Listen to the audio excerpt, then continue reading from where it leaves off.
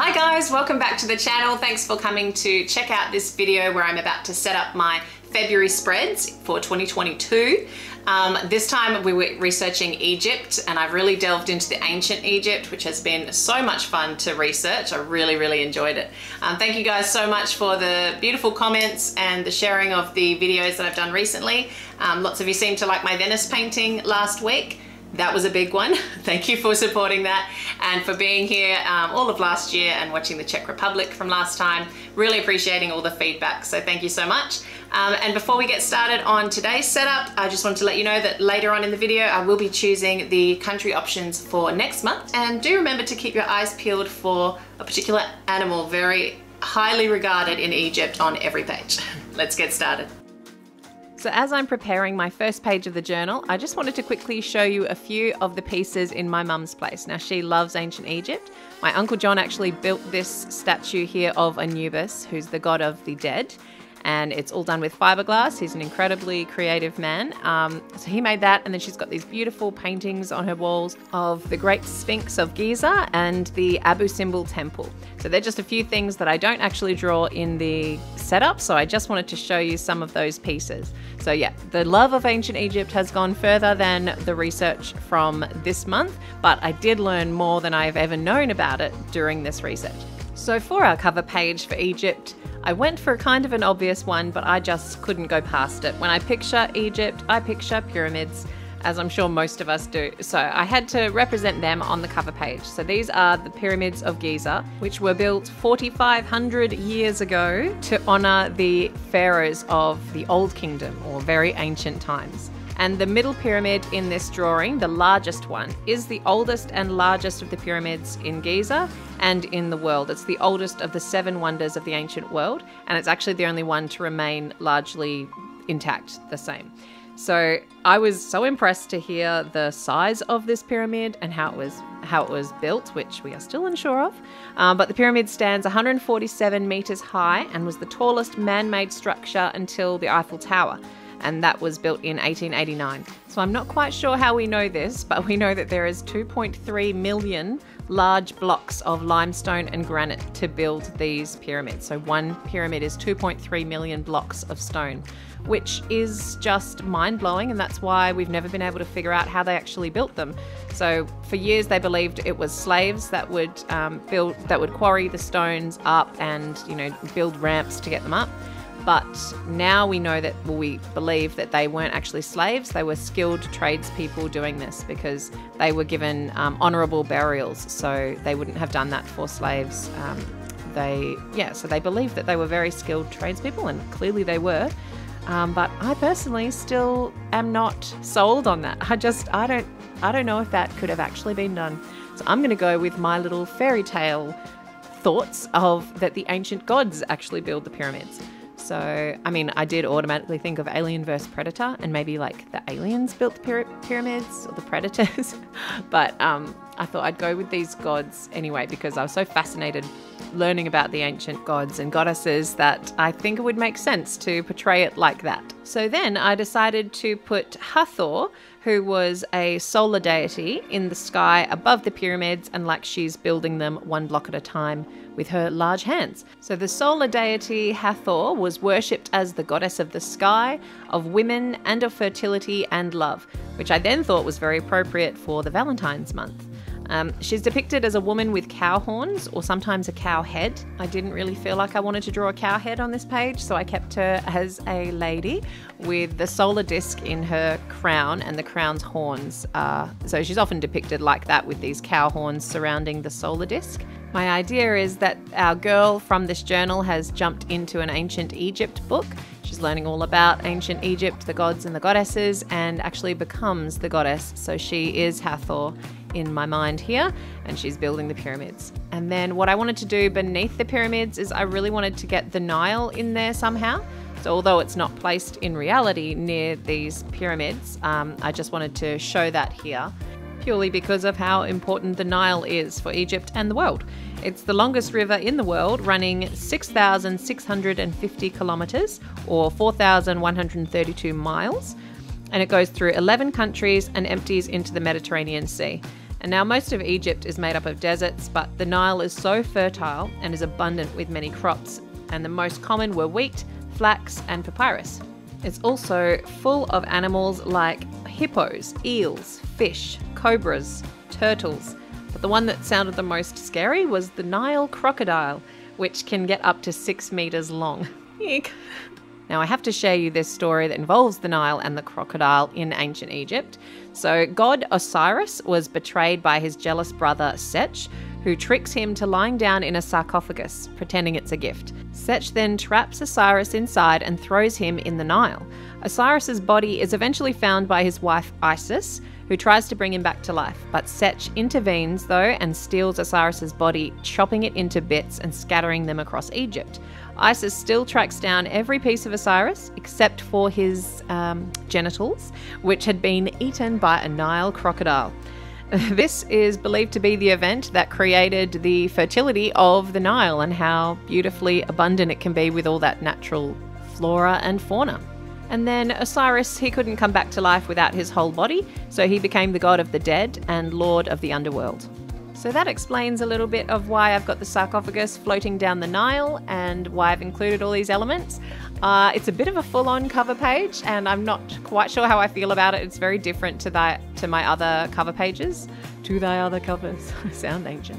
Um, and I've also, it, there was something bothering me about the purple flatness of the Nile. So I end up using some washi tape over the top, and that made me feel slightly better. Um, but still, I'm not 100% happy with how it's turned out. But I really like the fun and the sort of story that it tells to me.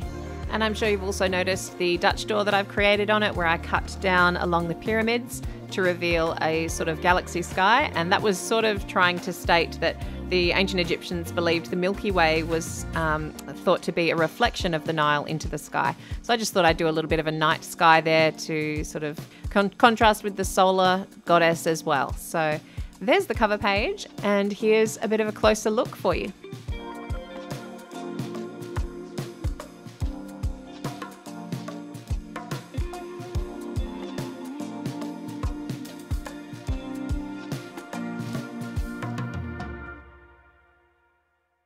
So, moving on to my next page, I had this really interesting shape to work with because I'd cut so harshly on those angles. And I thought it, when it turned over, it was this perfect triangular shape. So, I tried to use that, um, you know, really intentionally with what I wanted to draw on this page. Now, this is my calendar page where I do just the monthly calendar and usually houses birthdays or important things to remember. And now the national animal of Egypt is called the steppe eagle. But instead of drawing an eagle, because I really wanted to keep portraying this ancient god style throughout the setup, I decided to portray the falcon god, which is Horus. Um, he was the magically conceived son of Isis and Osiris, and he was created to avenge his father's murder by Seth. So, that previous story I told you, this is their son. Um, so, hence why Horus is the god of war and hunting, because he was created to avenge that murder. And Horus lost his left eye fighting with Seth, and his eyes actually represent the sun and the moon. So, in losing it, it became the mythical explanation of the phases of the moon, which is so cool. They had like a they had a reason for everything. I love it. So, as I hinted at in the intro, I have drawn a cat on every page of this setup because of how important cats are. So, although they're not the national animal, I just wanted to talk a bit about them and why they are so special to Egypt. Cats represented justice, fertility, and power, and they were known protectors of the pharaohs back in the day. They would kill venomous snakes and just be a general companion and protector of the pharaohs. Um, so there's a few deities that had the heads of cats, like Mafdet Bastet and Sekhmet, to name a few. So I have portrayed one here, a black one with the gold. They seem to all have these statues where they've got gold earrings and necklaces on. So I've added that in, which goes nicely with my spread. Um, and I've also written the word Feb down the side of the page. Um, and I've got the little hieroglyphics there as well, which I'll talk more about on the next page. But yeah, I really love the hieroglyphics, and that is what it would be if you were to just, you know, take away the actual English letters and just use those letters. That would be Feb. So as I'm here sketching out the main part of this, I was just loving how this was all being framed in this page, and to use that triangle aspect to sort of illustrate Horus. I was super happy and I thought I'd keep this page black and gold because it just felt right. I didn't want to add too much color like I did with the cover page, so I just kind of pulled it back and kept it really quite graphic. Um, and I love how this page turned out. So I'm just finishing this up using my Pigma Microns and then I will show you all the closer details.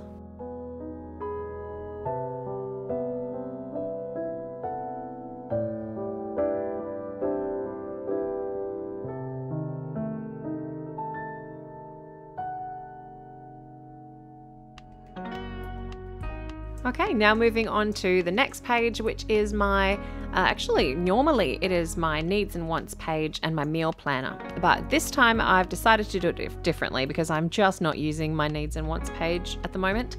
So I've decided to, from now on, change this needs and wants page to a gratitude list.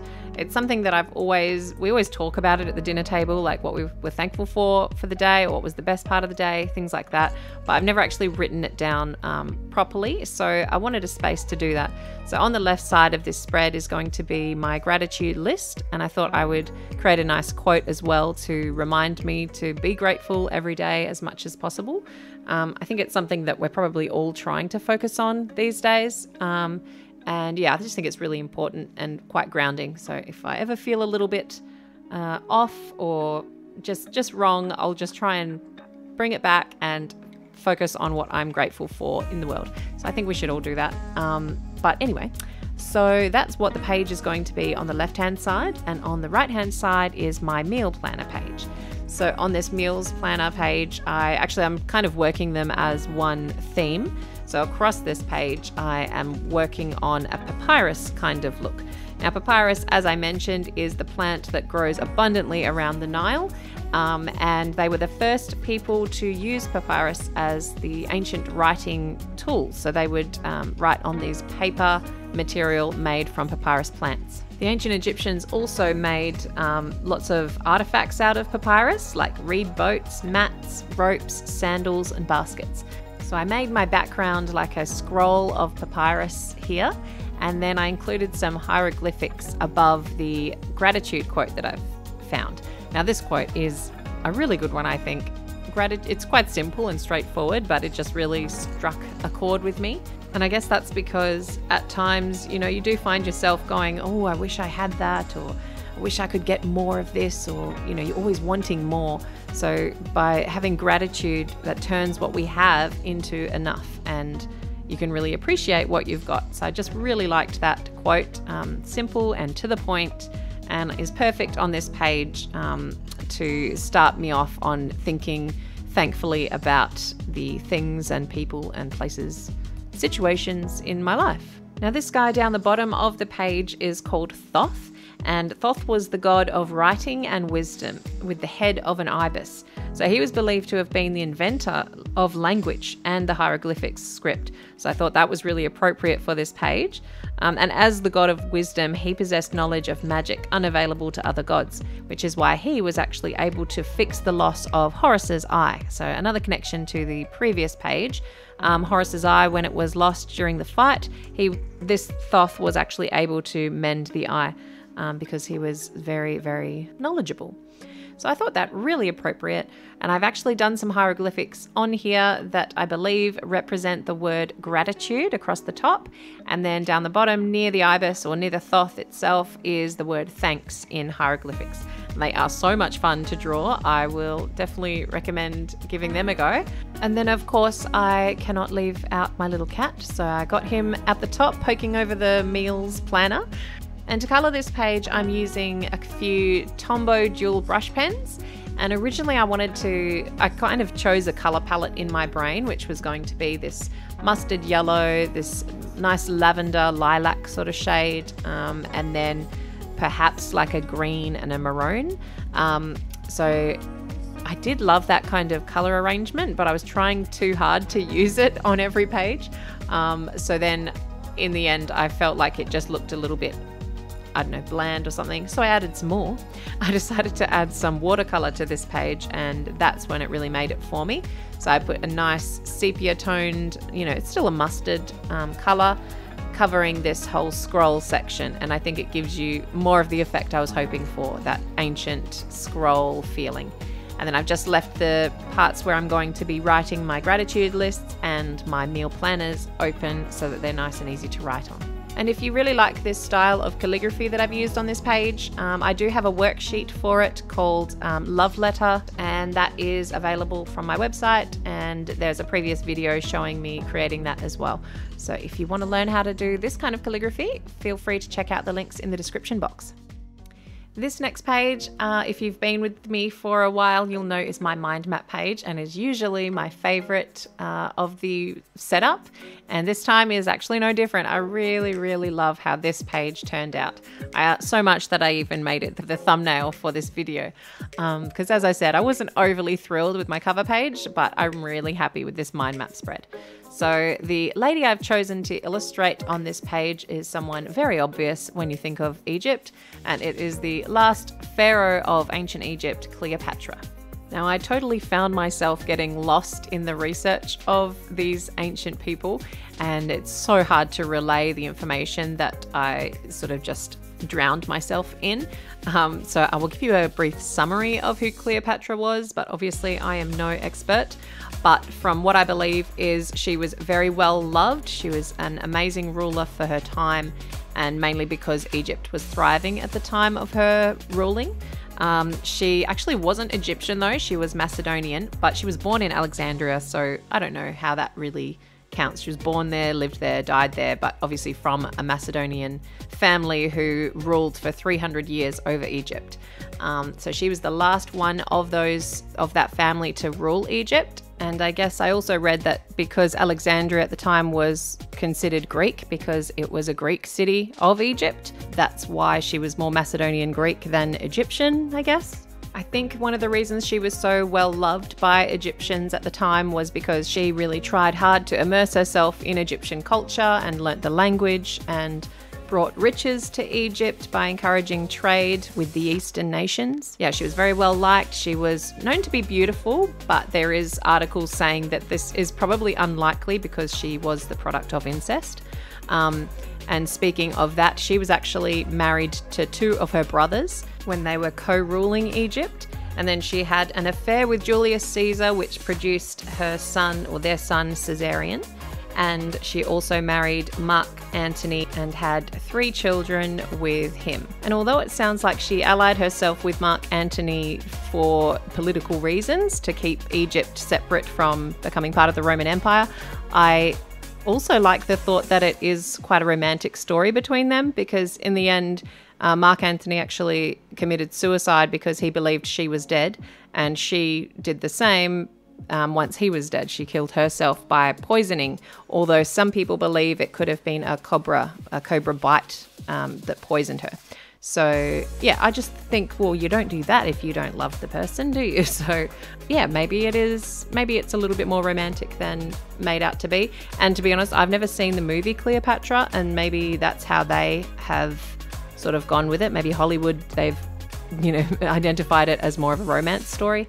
Um, but I thought that was nice. So she was only 39 when she died, and yeah, but she ruled and seems like a really important figure in the ancient history of Egypt. So she is the prime focus on this page. Now, instead of drawing the Queen of the Nile in a statue form or in one of the old art pieces, because we obviously don't really know what she looked like, I thought I would create her face as a modern day Egyptian beauty and then sort of put her in the attire of Cleopatra. So the face I've used for this Cleopatra drawing is actually that of a model and actress um, in Egypt called Tara Emad. Tara just seemed like the perfect choice for this because she is a well known Egyptian actress and is absolutely stunning and probably could portray Cleopatra very well in a movie. She's involved in her own charity organisation called Help from Your Heart Foundation, And that project distributes donations to families and children in orphanages in Cairo. Um, so I love to give a shout out to people doing good like that on the channel here. So yeah, um, good on you, Tara. And that sounded so Aussie. I was torn whether to show Nefertiti or Cleopatra on this page. So she was my other option, and she was known as the symbol of beauty and feminine power. And her name actually meant a beautiful woman has come and her bust sculpture is the most famous artwork from ancient Egypt. Um, whenever I see it, it makes me think of Michael Jackson's film clip. Remember the time with Iman and Eddie Murphy? Do you guys remember it? Of course you do. they play the pharaohs, and it was so cool. So this whole time I'm doing all these illustrations, so many great movies and music from you know our time is coming at me. And as you can see on my little setup to the side, I have a Nefertiti stat- statue there, like a little baby one. It's one of my mums that she's lent me for this. Thanks, mum. um, and then the other one I wanted to include and tell you about on this page is the national flower of Egypt, which is the Egyptian lotus, which I thought was super cool. And the way they illustrate this in ancient art was always very graphically done, so like quite triangular and symmetrical and stuff. So instead of drawing a real Egyptian lotus looking thing, I thought I'd stick with like a very um, yeah graphic display of how they used to draw the lotus. So that's what she's holding on to and having a little sniff of. I also wanted to include the makeup on Cleopatra because ancient Egypt is where cosmetics were first invented. So the kohl eyeliner that they use around her eyes was actually invented back in the day in ancient Egypt. So we can pretty much thank them for all of our makeup these days. Uh, but the difference is they believed them to have magical properties, and they would say incantations as they put it on because of its antibacterial properties that fought off infection. So that would be nice if that was still happening today. Um, yeah, and here it is. Here's my final shots of the mind map spread. I'm really happy with it. Hope you like the vulture crown. That was my favorite part. And and of course, nothing is complete without adding some beautiful gold jewelry.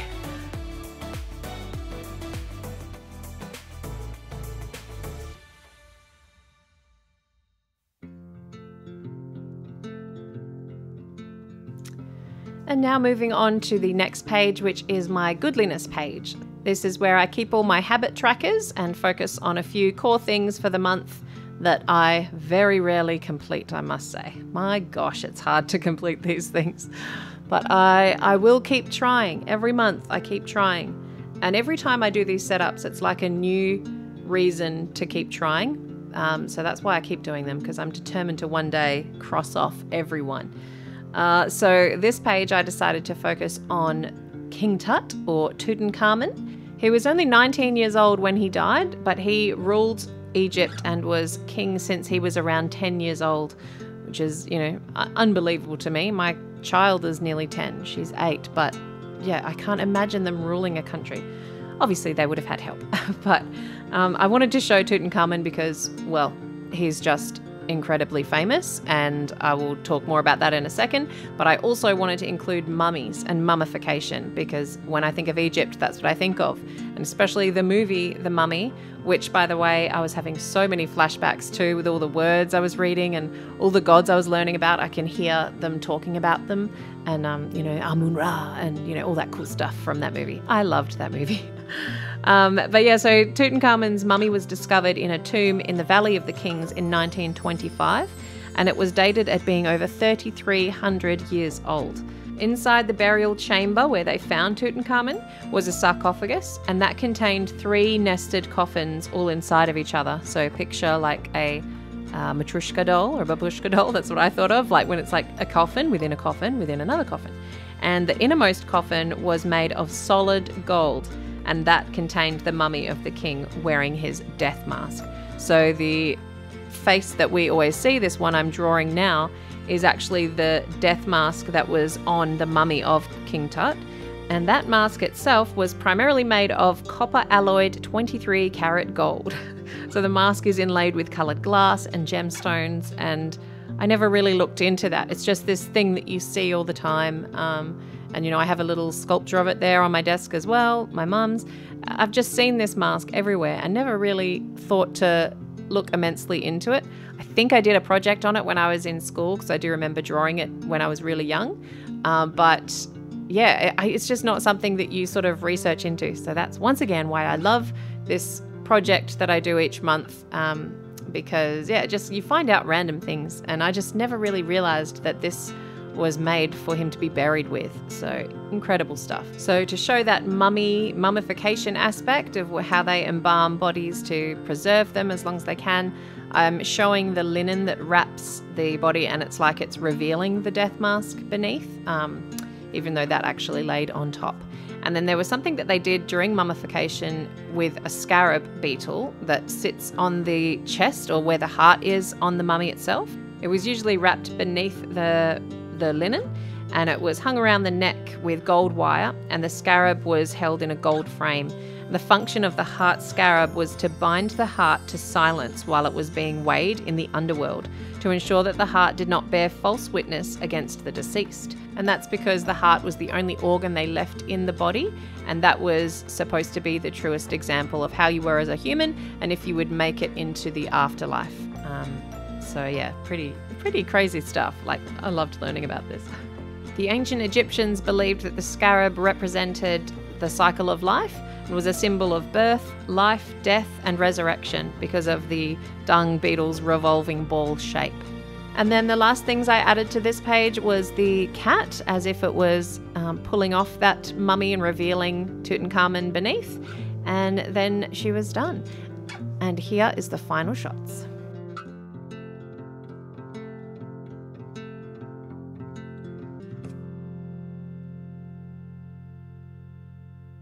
And now we move on to the final page of this setup for my weekly spreads. I've been enjoying a Dutch door style for this particular set of pages. So I've worked out that there's 28 days in February, and I did work that out at stupidly at the last minute because I ended up getting all my dates mixed up as usual. Um, so I've just cut these pages out across horizontally so that I can have just the bottom section being my my description of each daily task and things like that. Um, and then cutting out the top bit. And what I'm illustrating on this page is Egyptian cotton. I automatically think of Egyptian cotton as well, and learning that it was a crop that was grown along the Nile in that beautiful fert- fertile lands. Thought it quite nice to mention. Um, and I did want to have this kind of fairy tale like feeling to each page. I don't know if I've achieved it completely throughout this one, but I did like the thought that one of the Egyptian cats was maybe sleeping on a cotton ball. You know, the cotton plant itself looks so cool to look at, and they look like little cotton balls. So I thought it would be cute if that was like a little cotton um, bed basket for a cat. So I've got this giant cotton plant that's coming up on the left hand side of my page, and then done an Egyptian cat. Um, they're actually called an Egyptian Mau. They're also a small to medium sized short haired cat breed, and I thought because it's a small breed, it could go really small and end up on a little cotton ball. and they also are pretty rare, so there's only 3,000 or so worldwide. They are the fastest domesticated cats and apparently was one of the cats that Cleopatra actually had as well.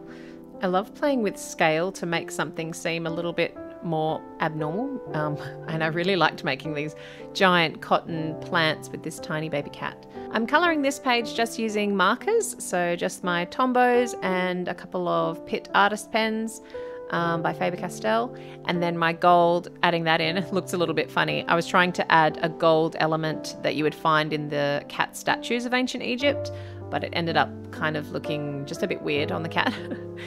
and then I wanted to add some spark of color, so added in the sun. And intentionally, it was going to be the sun um, behind the cat, but there was something about the color really annoying me. I think it was the fact that I could see the streaks in the pens. I don't know if that bothers anyone else, but I just I get really irritated using um, water-based markers because they make these streaks. So I ended up going over the top of that circle with a maroon color that I was trying to use throughout the spreads anyway, and I think that works a lot nicer, um, having that dark contrast between the cotton and the cat and the background. So I've just done that, and then last off on this page on the right hand side, I've left a space for notes. So anything that I don't, um, that I want to see every week of the month, I'll put in that section. And to decorate that, I'm still using that calligraphy, the love letter calligraphy that I talked about earlier. If you do want a worksheet for that, there is a link down in the description box. Um, but I've also put the Eye of Horus um, on the top right as well, just to decorate it, make it look a little bit more Egyptian on this page. And then the Eye of Horus, like we spoke about before, is when Horus's eye got injured in the battle. So when it was fixed, it became an amulet and, and it would sort of have healing and protective powers. So it was used to protect against disease and protection against disintegration of the embalmed body with the mummies. So I do love how all of these things that I managed to put in here were all connected. That was so cool about ancient Egyptian gods and goddesses. Everything was connected. So I found it so fun. I'm sure you can tell how much I enjoyed looking into Egypt. Um, I do realize that I really focused on ancient Egypt. I hope that didn't offend anybody, but you know, the current Egypt is still a beautiful place, but it just holds so much history that it's really hard not to mention it. So, yeah, I really enjoyed this. I hope you liked it as well. If you did, could you please hit the thumbs up button down below this video to help me out? And also subscribe if you want to see more videos like this. So, every month I look into a country that you guys help me choose. And just wanting to thank my newest patrons on my Patreon channel who are supporting me over there.